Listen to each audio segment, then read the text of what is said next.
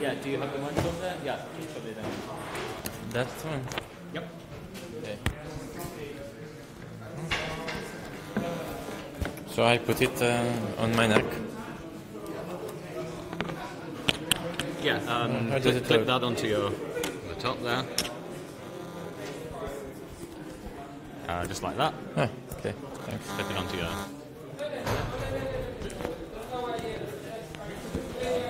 Just choice with the- Okay. So it's is it working? Just. Is it working? Yep. Okay, thanks. So um, may I start? Okay. Hi guys. Um, my name is uh, Tamás Bunth, and um, I, uh, I I was uh, working with uh, on LibreOffice for uh, uh, three years from now, and um, now I am a contractor at uh, Collabora Productivity. The main topic I'm about uh, to I'm, uh, I would like to talk about is uh, LibreOffice Base. Maybe it's not uh, as, a, famous component of LibreOffice as Writer and uh, Calc, but uh, it's uh, used uh, in uh, different areas.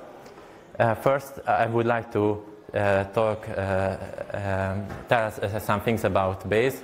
Uh, so, if uh, you are not uh, um, familiar with the component, just to, I would li- like to let you know some details. There are two um, modules which are strongly related to the um, Base module, the connectivity and the DB access. Um, the connectivity module uh, is used for connecting to a, um, a database management system. Um, Microsoft Access uh, uses um, uh, its own um, database management system, um, but uh, LibreOffice Base uh, uh, is used um, most uh, uh, used only with uh, external uh, databases. Um, at least it's not uh, the um, uh, not uh, in the core project. um, also, um, there is a module called DB Access. It, uh, it is um, uh, representing the um, logic which, uh, which is used for uh, um, uh, showing the UI itself and uh, operating the uh, database management system the, in the background. And um, uh, what, I'm, uh, uh, what I would like to talk about is the improvements uh, in that area. Um, there are uh, three uh, main topics which I would like to talk about. The first one is the, the default embedded database management system. Um, there are two options when you want to connect to a database. Um, you can either have a external connection, that means that uh, uh, you can use a server, a database server, or you can, you can uh, use an embedded database. Uh, that means that uh, when uh, you have the ODB file, it's actually a zip file, as uh, you may already know. And uh, in the zip file itself, there is the data and the schema of the database. If you want to go for an embedded database, then you can choose either Firebird or uh, HSQLDB. Um, and um, uh, that's uh, one topic uh, because uh, we wanted to make uh, Firebird the default and HSQLDB is obsolete. Other topic is the um, migration from HSQLDB uh, to Firebird. That's needed because we uh, turned HSQLDB as an obsolete uh, uh, solution and it, it has a um, Java runtime environment as its dependency, which is a huge dependency in its own. And uh, also, um, uh, the third topic is about my, MySQL uh, connector. Um, uh, with LibreOffice, you can uh, connect to My, MySQL and MariaDB not only with JDBC but uh, with uh, the native connector uh, as well. And uh, first, I would like to talk about the connectivity module and the SDBC driver itself. It's the API which LibreOffice uses, and it's very similar to the to the uh, JDBC, JDBC API. We have a driver which can uh, create connections, and each with each connection we can create statements. for example, a query or insert statement, and so on. And uh, we can have, with, for example, with that X database metadata um, information about the database, and uh, all that can be uh, received uh, with the help of a result set. And it, has, it also has information uh, which is contained by X results set metadata. So these are interfaces, and, uh, and there are several implementations of the driver for each database management system or for each connecting solution. For example, we have ODBC and EDBC, uh, which uh, Access uh, has as well. But uh, LibreOffice has native uh, uh, plenty of native connectors. Um, these are just examples. The three interesting example is the SQLDB and the Firebird driver uh, which, I, uh, which I'm most concerned in, and the MySQLC, that's the native connector, name of the implementation of the native connector. Um, and with SQLDB and Firebird, we can choose either to connect to a remote uh, server and, or uh, to an embedded server. Okay, um, so comparing Firebird and SQLDB as an embedded database, that uh, I found uh, three three uh, reasons why we would go for Firebird. The most, the most important is maintainability um, because HSQLDB is Java-based um, database management system. because of that, we have to make a Java calls from C++, C++ and that, that causes uh, um, some trouble when uh, we would like to de debug the application. And uh, also another um, aspect is performance. And uh, the third is the state of the uh, implementation itself. That's the one we can, we can uh, change. Um, so one of my works uh, lately was about uh, uh, um, improving the Firebird driver. Um, it, like two years ago, we made an upgrade to the 3.0 version, which was um, kind of a, a, huge work because the uh, architecture of the Firebird uh, management system, uh, database management system changed. And because of that, we had to remake the uh, uh, make file uh, make files related to this, which which can be a bit tricky. Also, um, another um, improvement was to allow auto incremental values. Um, and uh, saving uh, the RT format of uh, Firebird inside the ODB file. Um, with this method, we achieved that uh, the um, ODB file is portable, which is kind of a requirement we have.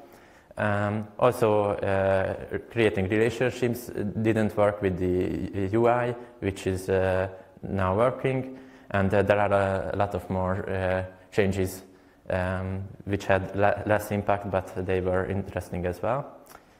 Okay, after upgrading the uh, Firebird driver, uh, there is this need that we should get rid of the SQLDB because of the Java dependency.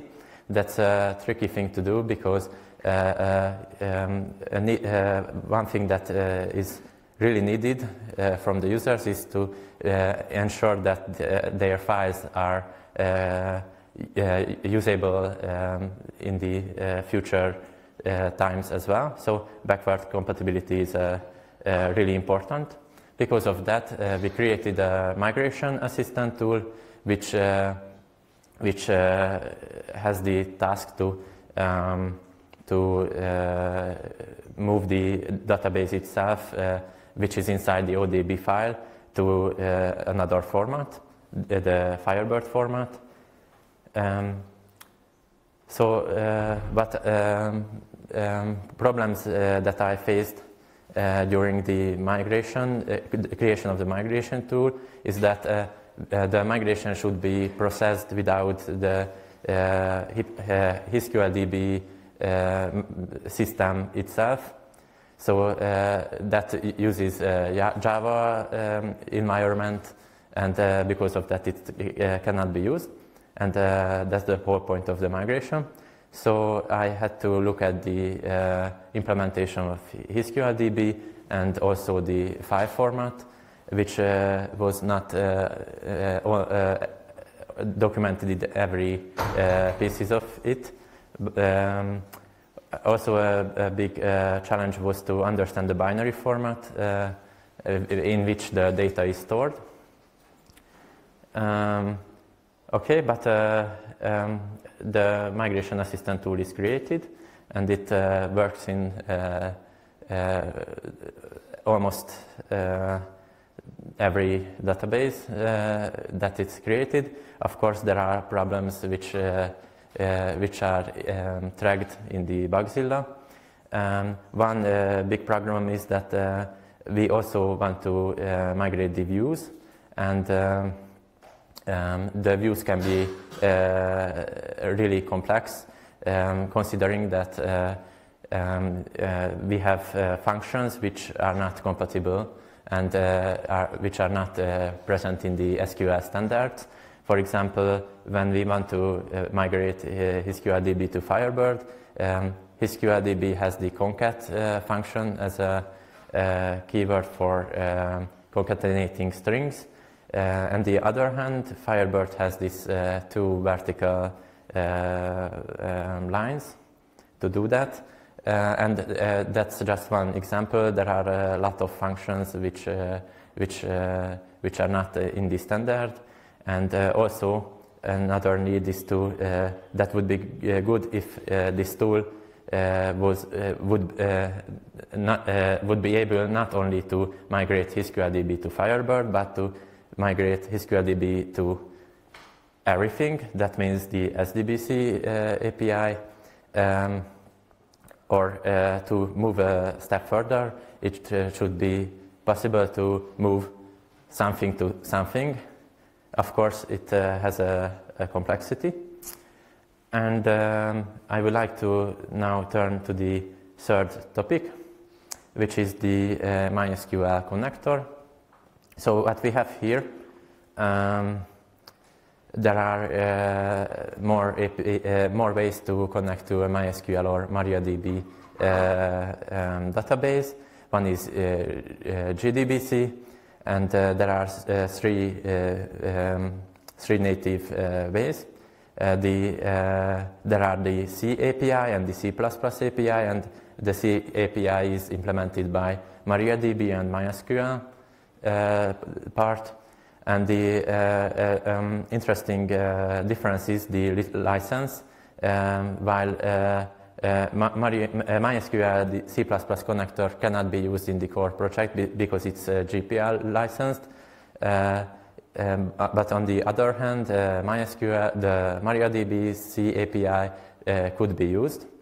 And uh, because of that, before, before the work we did, um, the uh, native, uh, MySQL native connector was uh, used as an extension.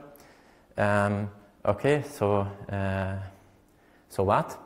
the problem with having the MySQL connector as an extension is that um, it, it um, needs further steps to uh, install it. It uh, seems to be not a big problem, but uh, it annoys the user and the user has to know that it exists and so on. But the big, biggest problem with that is maintainability because because it, uh, when it's, it is an uh, extension, the driver itself, then it uh, wouldn't track the changes which uh, which we made on the core project. And because of that, it can uh, happen that uh, the, the extension cannot be used anymore. Uh, also, for example, Clang plugins wouldn't apply on the extension and, uh, any other static analysis tool and test and uh, so on. Okay.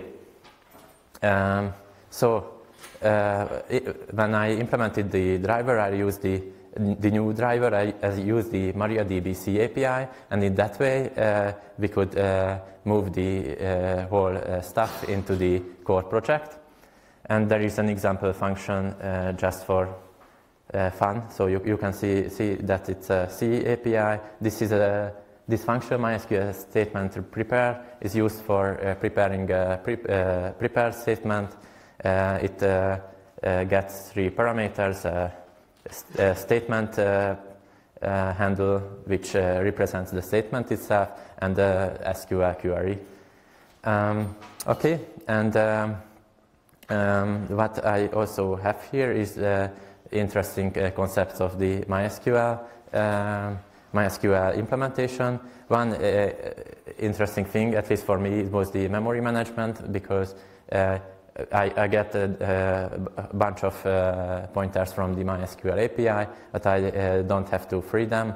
There is a separate, there are separate functions for freeing the uh, resources.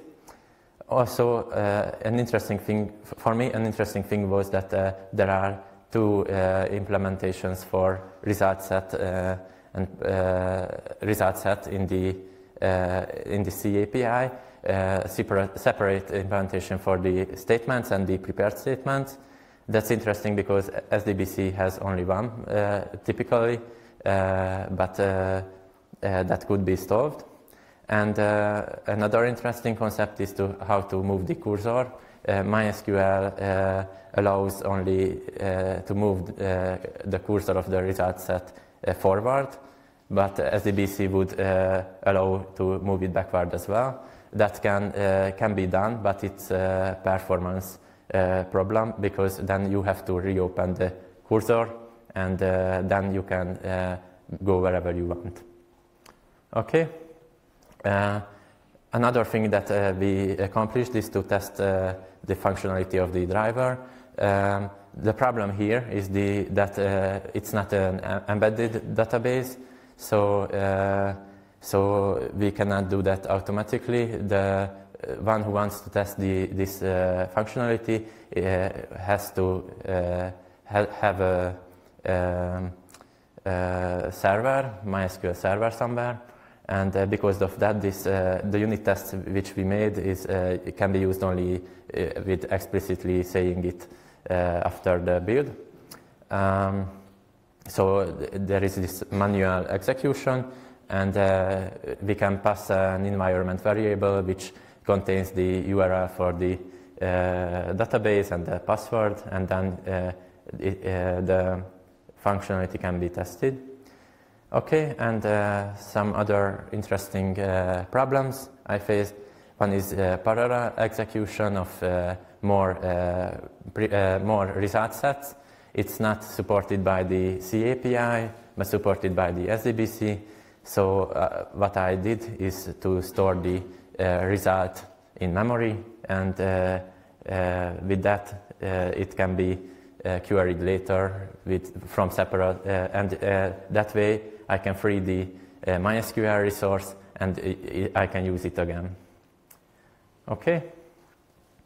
Um, another uh, challenge was the X database metadata uh, implementation because the C++ API, which uh, was before, uh, had uh, provided uh, methods which was really similar to the, which were really similar to the SDBC methods, so there were nothing to do. But with the C API, there, these methods are not available, so I had to uh, use SQL queries um, the challenge with uh, that is uh, that it's not as uh, strongly uh, typed as C++ and uh, the developing in that way is a bit tricky. Um, but the most of the methods now works. Okay, and the third, which I would like to mention, is that Um, three days from now, I worked on a bug uh, here in Brus Brussels in the Hackfest, and, uh, and that's uh, when we use the native MySQL uh, API, uh, so the SDBC API which I implemented. Then when we open the relations tab, this tab is used for creating relations, which means foreign keys mostly. Um, so when we open it, it uh, uh, turns out to be too, uh, a bit slow. That means for on my machine with my MySQL server, it takes about seven seconds. And why is that so slow?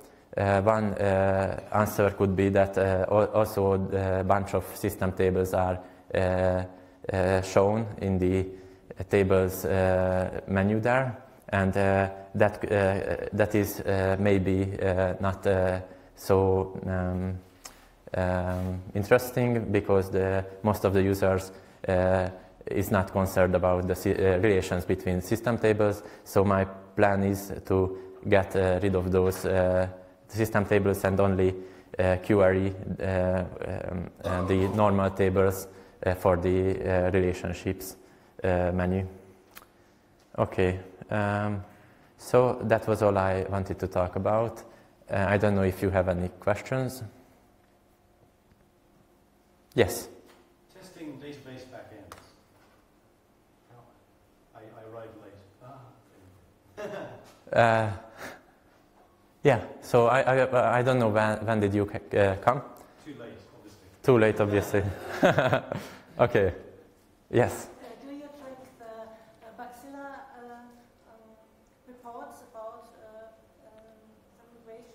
Yeah, uh, um, uh, about um, migration? Yeah, um, about the migration. Uh, there are a lot of uh, reports about what works. Do you track this? Yeah, yeah, I, um, uh, yeah. Uh, about the migration part, there are there is a, a tracker page in Bugzilla which contains links to all of th those issues. There is a lot, a lot, which there are a lot which are solved, and there are a lot which need uh, further uh, uh, work on that. Yeah, I'm aware of them.